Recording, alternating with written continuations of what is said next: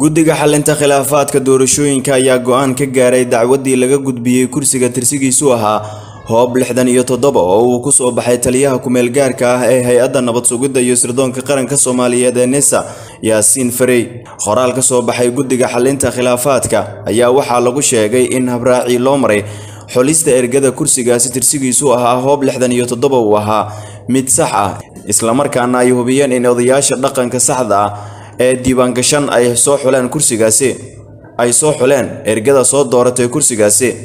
Guddiga xalinta khilaafaadka doorashooyinka ayaa caddeeyey in uu waayey wax caddeemo ah oo muujinaya in nabadoon cali xasan laga hor istaagay safarkii uu ku tegi lahaa magaalada dhuusamareeb ee caasimadda u ah dowlad goboleedka galmudug. Sidoo kale guddiga ayaa tilmaamay inay hubiyeen aqoonsiga odayaasha dhaqanka ee wasaaradda arrimaha gudaha dowlad goboleedka galmudug waxayna u caddeeyeen guddiga inay soo xuleen. Ergada kursiga tirsigiisu yahay hoob lixdan iyo toddoba sida saxda ah ee waafaqsan sharciga. Guddiga xalinta khilaafaadka doorashooyinka dadban ee jamhuuriyadda federaalk ah ee soomaaliya ayaa kol hore soo saaray go'aamo ku aadan laba kursi oo lagu doortay magaalada baydhabo.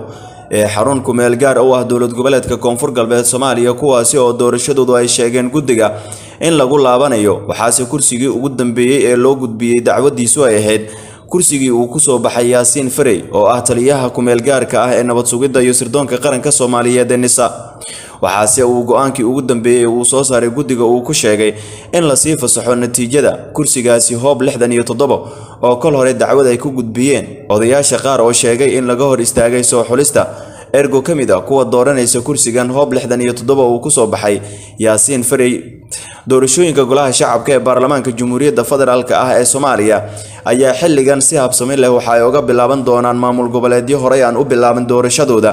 Waxaa ka mid a puntland jubbaland iyo hirshabelle oo mid ka mid a maamuladaasi kuraasii ay dooran lahaayeen ay soo saareen. Cumar guxurbaynta city. Waad ku mahadsan tahay daawashadaada?